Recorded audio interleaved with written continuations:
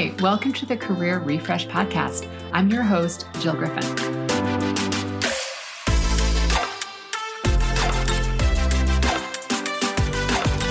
I'm a former media and marketing executive turned career strategist and executive coach.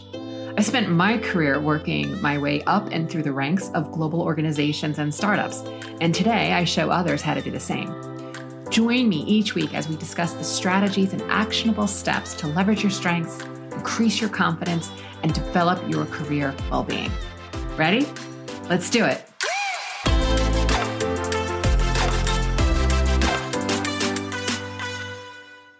Hey, friends, welcome back to the Career Refresh Podcast. I'm your host, Jill Griffin.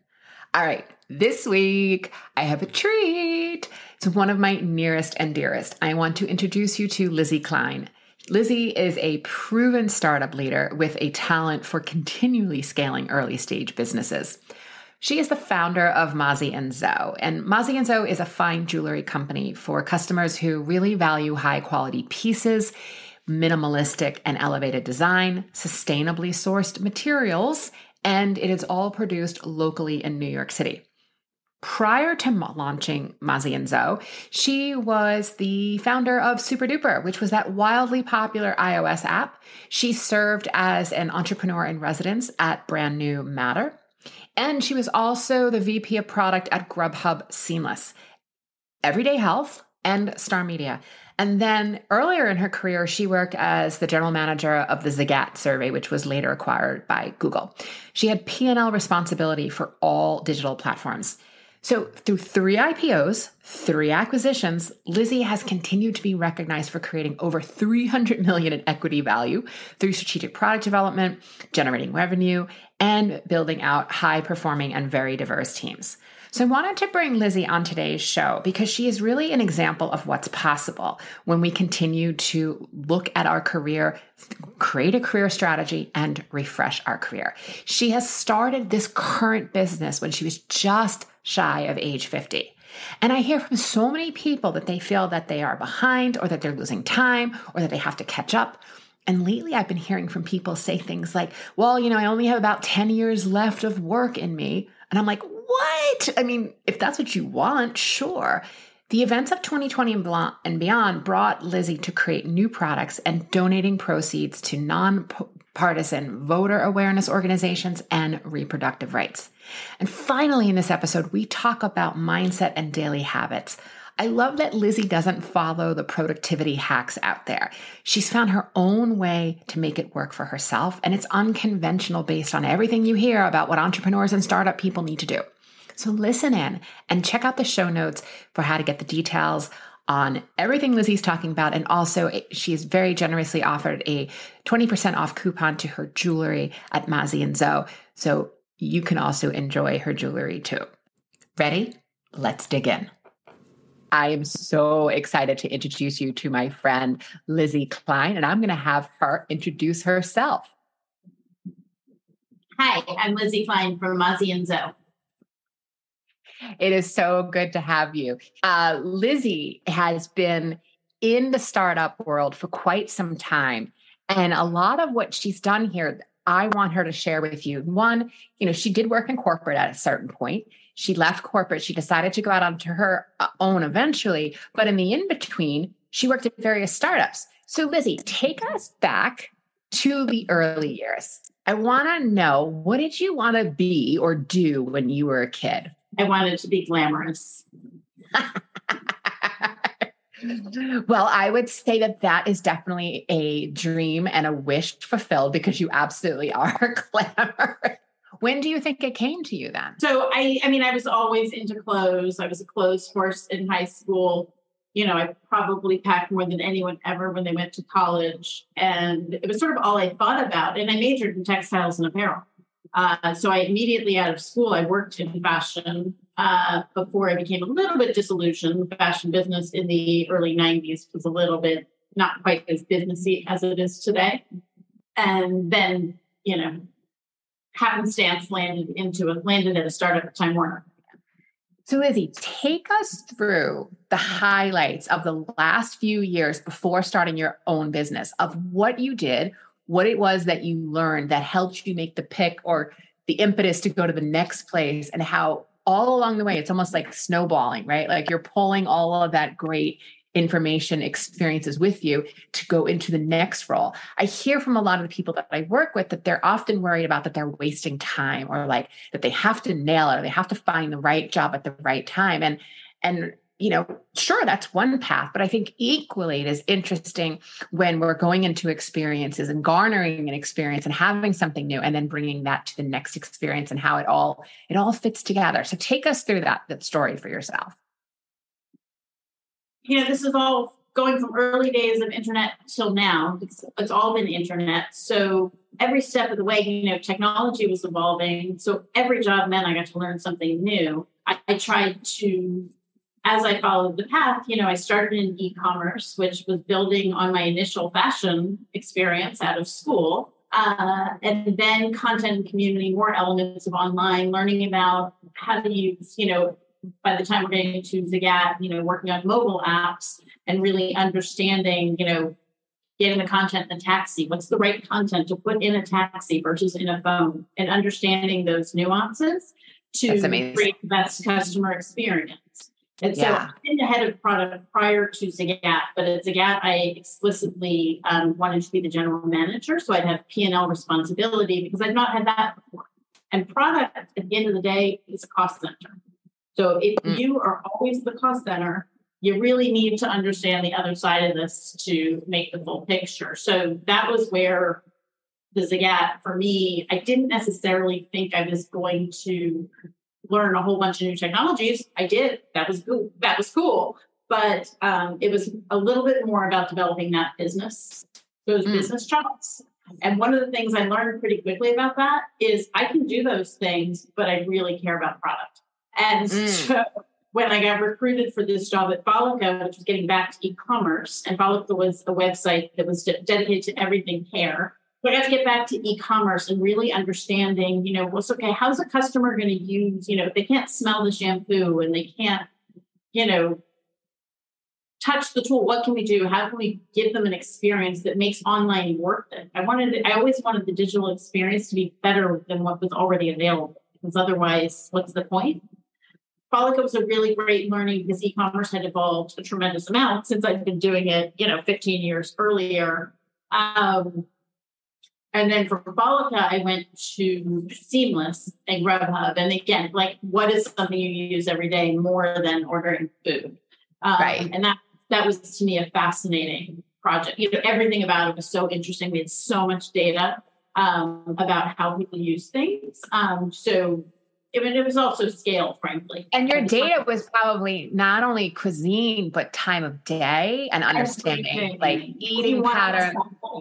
So let's fast forward a bit and take us to how did you make the decision to go out onto your own and start your own business? So when I left Seamless, I has basically had, you know, the biggest product job there was at the time. You know, we were a billion dollar company, yeah, I'm the head of product, like there's not a whole lot out there that's going to be a next step. And I, I actually struggled a little bit to think about what comes next. And after a bunch of interviews with up and coming startups, you know, here and on the West Coast, um, all of a sudden I remember sitting in Key West, like lounging around and going, oh my God, I want to be CEO. It, it, it, I didn't have those examples. You know, my family, my parents were both government employees. It never occurred to me to think I'm an entrepreneur or I should start the business. Um, and to be honest, I didn't have bosses who told me that either, or a mentor who told me that. And so I had to come to it really slowly. mm. um, and that's when there's an idea that my sister and I had had kicking around for years and years that we always talked about. And I was like, you know what, I'm doing it. Um, which was the impetus for Super Duper, which was a an app that showed the drugstore dupes for luxury cosmetics. Because what it sort of came down to is how many shades of brown eyeshadow are there really? And you know, knowing that hey, so so people who don't know, because I met you when you were still running that, take them through like I'm looking at a Chanel nail polish in a shade of red. What happens? Take take them through the experience of what you did, which is so, so brilliant. When um, when you open the app, you would choose. You know, am I looking for Dior, Chanel, Louboutin, whatever the luxury line was? You tap that and you know again this wasn't the most sophisticated app uh, you scroll through the list of their colors tap on the one that you were just looking at in the store or were seeing in the magazine and we would tell you you know that's equivalent to cover all this that's you know not exactly a match to opi this one but it's close and you know it's a little redder and things so that you could just figure out exactly what you needed it's a little secret of the cosmetics world that the colored cosmetics, the nail polish, the eyeliner, uh, the lipstick, they're kind of all the same. That it doesn't, you know, there's not it's all branding in the planet that make eyeliner. There, okay. you know, and it the quality does not correspond to the price. So giving people an opportunity to, you know, save a buck. Um, to me, I always wanted people to spend their money smart, and in my mind, savings on cosmetics so that you can buy great shoes it was a great trade-off. right, right. Okay. So then how did that so that was your first foray into running your own business. Then what happened? So I ended up, it's actually funny because they brought it back. Um, the app was built on something called Airtable, which mm-hmm. was at the time uh, Facebook bought it and deprecated. So my app is no longer useful. My app's not making money. It's super popular. It's, you know, in magazines, people love it, download like crazy. I never paid a cent for advertising, but it's not making any money. And so uh, I made the difficult decision to just shut it down rather than spend another, you know, whatever, $50,000 to build another app. Um, and went to, well, I wanted to think about what's next. I actually went to be an entrepreneur in residence at a venture capital fund. Because again, mm what parts don't I know? I don't know that part. I, I yeah, explain to everyone what an entrepreneur, because I used to always say um, lady in residence, and you were like, no, Jill, entrepreneur. I was like, right, right, right. That's what it is. explain to everyone what an entrepreneur in residence does. Sure. I mean, I think they potentially do different things at different venture capital funds, but in my role, the job was to, you know, look at opportunities coming in, meet with entrepreneurs, see if they were a fit for the company. So just, you know, another screen, but also then to work with the companies that had already been invested in, to work with those entrepreneurs and whatever they needed, you know, jump in if they need some senior product help, whatever I could help with. Um, okay. With the idea that I'm supposed to be cooking up my own idea that they will then back. Got it. However, oh wait, I called you an entrepreneur in waiting. That's what I thought it was, not a lady in waiting. I was like, wait, what were you, entrepreneur in waiting? You're like, no, Jill. Yeah, no, arguably it is. Arguably, it's just like sit on the bench chair for a while, think of something good, and then we'll fund you. And then we'll figure out how to monetize yeah. it. However, okay. people that I was the fund where I was working is really focused on travel. And the next thing that I wanted to do was not travel. It was Mazi. Hmm. Uh, and so I was researching Mazi and Zo while I was there, and I told them, you know, I know this isn't going to be up your alley. And to be honest, I don't think it's a venture type company. I think it's a bootstrap. Um, so I'm going to, you know, leave here all good terms, and I'm going to go launch Mazi and Zo, which is the jewelry company that I started in 2019. Amazing, amazing. So, so tell everyone sort of what you do and how you got into sorority market, and of course, everyone's favorite TikTok, Bama Rush. So, Instagram is becoming hot in 2019. I mean, arguably it was hot before then, but you know, really everyone and everything, particularly for, for shopping shopping. Yeah, yeah. hit for shopping in 2019. And I was, and you know, the influencer concept came up 2019. And one of the things that I was noticing in looking at younger influencers is that they were, you know, scrolling through all the time. And they were many, many of them were sorority women. And none of them, they would be wearing like their sorority sweatshirt and you know their water bottle and their backpack and sticker on their laptop. There's sorority on everything, but none of them was wearing sorority jewelry. And that seemed really weird to me. I've always been into jewelry. It's sort of a tribal thing, you know, people wear the same thing and you know, recognize, you know, game sees game kind of thing. Yeah. Um, yeah. And I think, you know, jewelry is just such a clear representation for a lot of people of their values and what they care about. You know, the Lance Armstrong bracelet, right?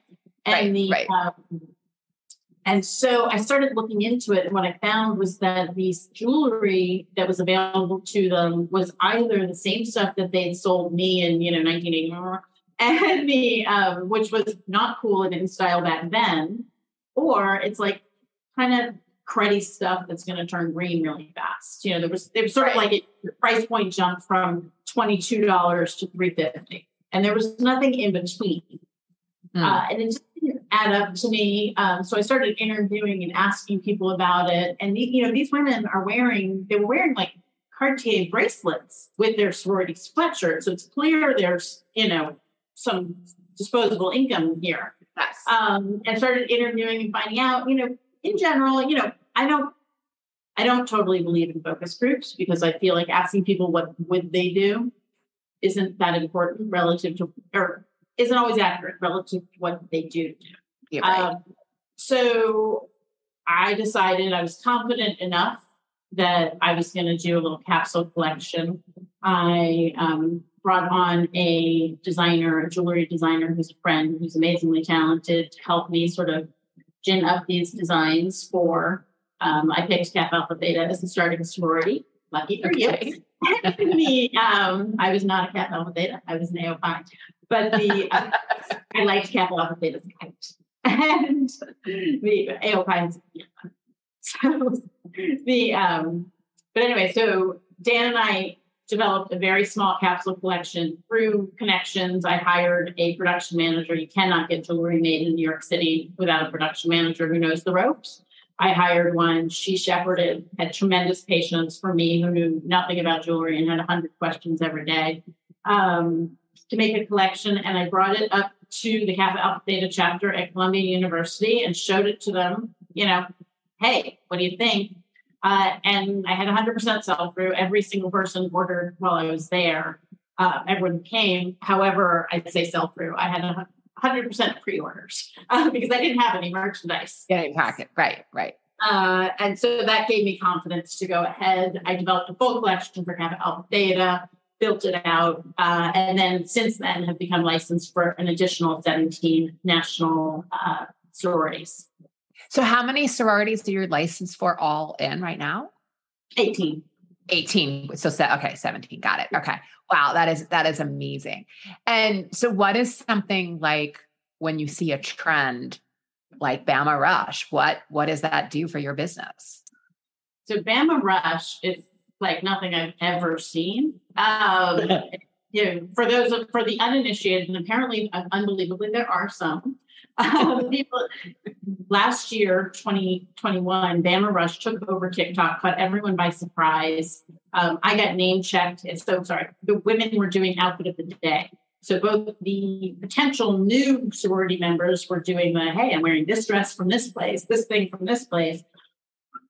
And the existing, the, the members we were recruiting, some of them were doing them as well. And somebody name checked you know, and this is my Mazi and Zo necklace, which was amazing, um, and amazing. sent a whole lot of traffic my way.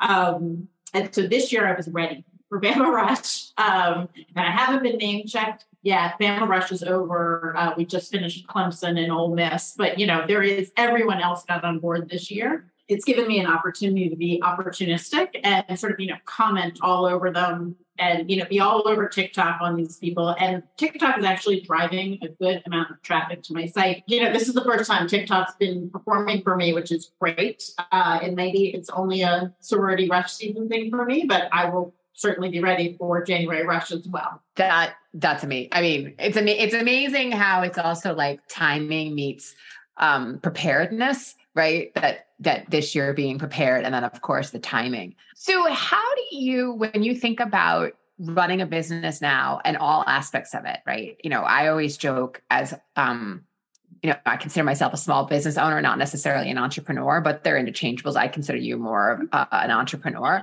but one of the biggest things that i've learned for myself over the last five years of working for myself that if i did not scale my brain I was not going to be able to scale my business and scaling my brain into what's possible, scaling my brain to deal with the celebrations as much as the frustrations, to be able to handle it, to, to roll with things, and then you know keeping the highs not so high and the lows not so low, and just be really managing my mindset with it.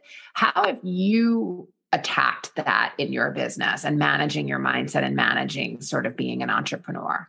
That's a great question. I actually admire. I think you do that very well. Um, and I think I think of it more. I, I think I'm less proactive than you are, and I'm more coping. So I sort of have two coping mechanisms. One is how I manage my daily schedule and sort of what I'm going to do each day. And it's sort of micro, right? To do it a day at a time. And the other is, you know, taking a lot of walks, just getting air and taking walks. Like for me, my best ideas very rarely occur to me when I'm sitting at the computer. It's always you said something funny when we were having a drink, or I saw somebody wearing something walking by me, or that's where my ideas come from. So okay. two mechanisms kind of I think one keeps me on task and the other one keeps me thinking. Yeah. Okay. Okay. I like that. And then how do you weave, you know, so you have all these experiences throughout your career and you obviously also have your personal values as to what you want in business. How how is uh, how has been the result of you weaving your personal values into the business that you created? How has that changed for you? And how does that feel be able to really own all aspects of it that anchor to your values? Yeah, I've been really fortunate. I started the business with the intent thinking about, you know, one of the most one of the values, one of my key values is just sort of quality. I, I care about things being good. I don't like cheap things. I don't like fast things. I want the best.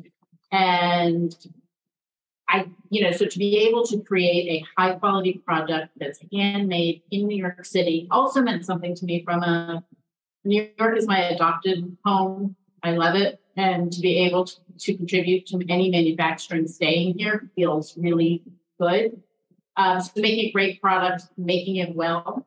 Um, that sort of hit my initial values. And then in 2020, when the world was blowing up between COVID and a whole lot of civil rights issues, it didn't feel right to me. Again, to get back to my values, the idea of pimping jewelry in that environment felt kind of tacky. Uh, until it struck me to create a necklace that I'm actually wearing right now. A the vote necklace. necklace. Yeah. I have one too. We'll make sure um, all of you know about that. We'll put that in the show notes, the vote necklace. yeah, it, it, and the from the outset, I anticipated, you know, I planned to donate proceeds to, I picked an organization. I was not savvy enough about how these partnership things work to contact the organization. I just decided I'm going to donate to you. Um, and so that's not true. I think I tried once or twice, but I didn't try that hard. Uh, that I'm going to donate the proceeds from this to When We All Vote, which is Michelle Obama's organization to drive voter adoption. And um, about a week into launching it, the organization actually called me and asked me mm. to be partners on it, which was amazing. Amazing. Um, I was super flattered, you know, in this tiny business that nobody's ever heard of, and they somehow seen this product and, you know, came out, you know, to get me. And then uh, shortly after, uh, at the DNC, uh, Michelle Obama was wearing a vote necklace when she was on television. Now, it was not my vote necklace. Uh, it was another maker's necklace. But what worked out really nicely was, you know, that whole rising sea lifts all boats was Google search. Everybody started Googling, I'm sure, for vote necklaces, right? Amazing. I, I remember you calling me saying, put a Facebook ad in. Or, I think I remember, I, think I remember that too. I was like, we got to get on this moment. I'm just sitting, I'm sitting watching because I'm watching the DNC and I'm hearing ding, ding, ding my phone is set to ding for orders. And I'm like, what's happening? And all of a sudden I realize the whole world's Googling for vote necklaces mine's cuter than the one that she was wearing. It worked. Um, and so a ton, you know, felt great to be able to donate a ton of money to that organization.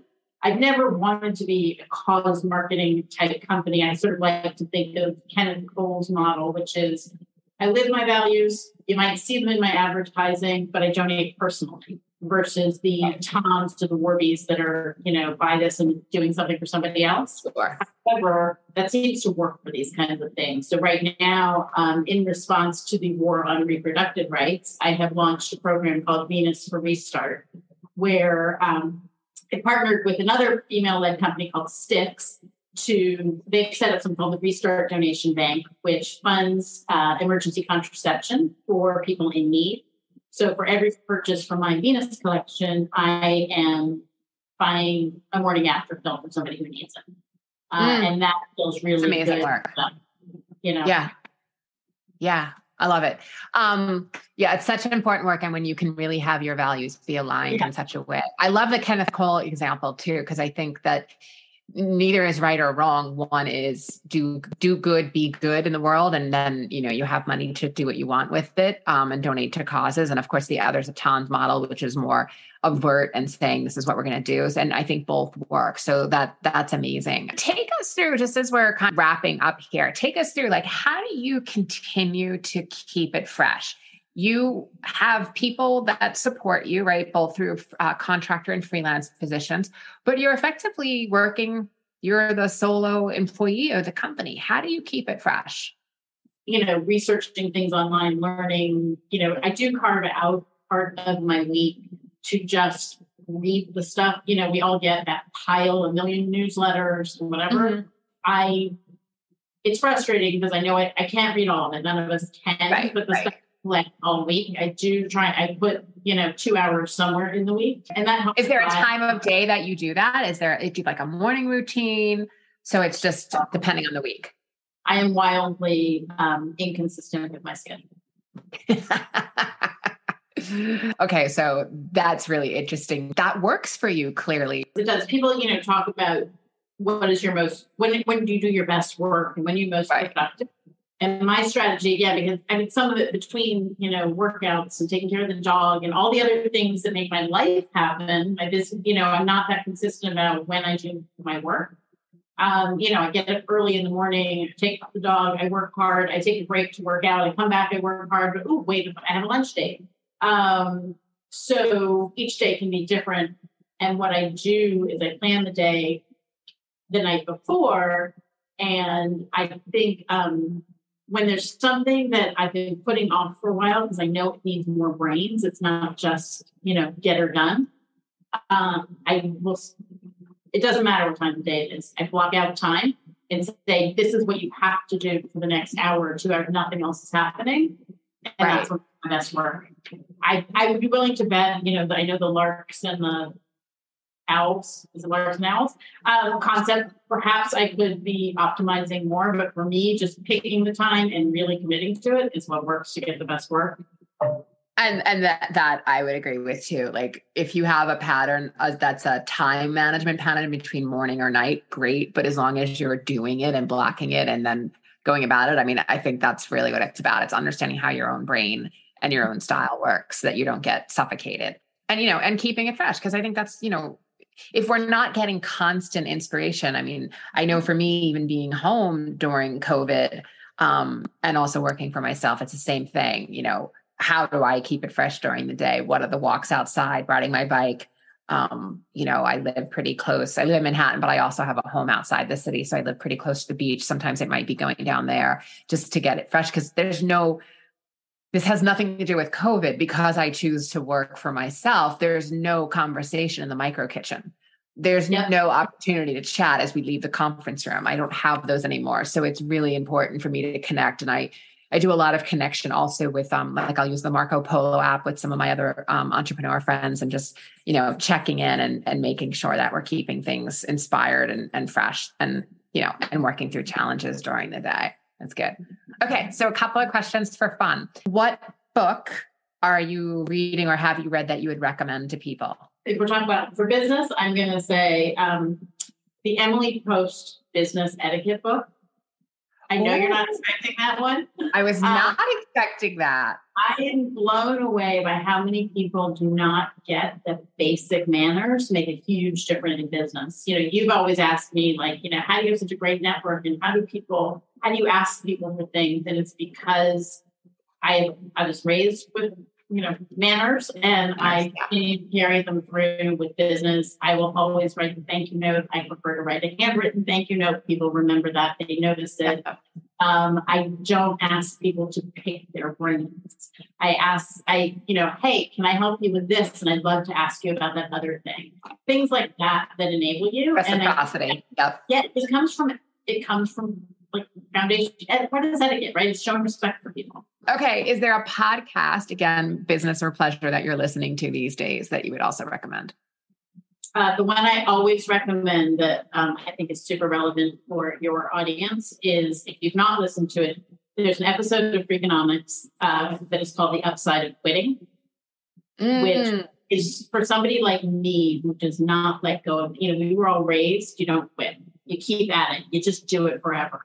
Um, that the way Malcolm Gladwell positions quitting as a rational economic choice is phenomenal. It, it is so empowering. If you are sitting at your job and you're like, I can't quit because X, Y, Z, or I've invested all these years, I might be partner next year, whatever it is, the upside of quitting takes a look at that and says, okay, forget about the past, right?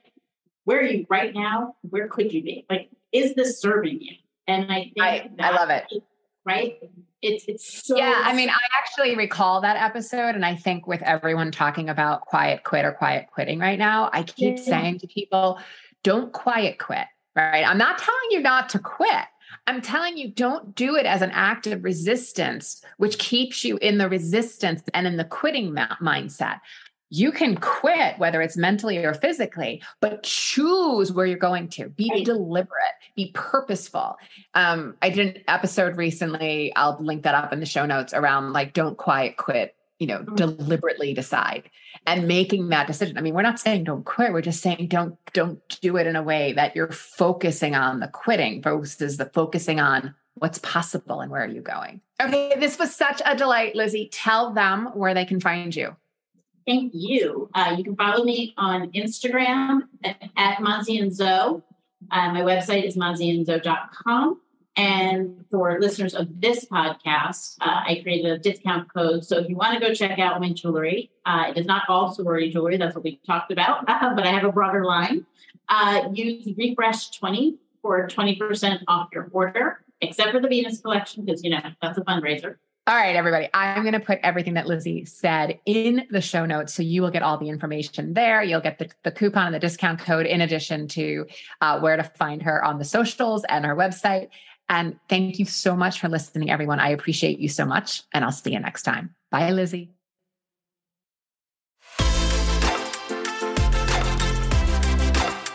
Thanks for listening to the Career Refresh podcast. If you're enjoying this and you want more information, go to my website, jillgriffincoaching.com. There you can find information on how to work with me one on one, or my group programs, or even bring me into your workplace. I'll put the link to my website in the show notes. But hey, listen, before you go, do me a favor rate and review this podcast because it definitely helps me get the word out to people everywhere so that they can also thrive in the workplace. All right, friends, I appreciate you. I'll see you soon.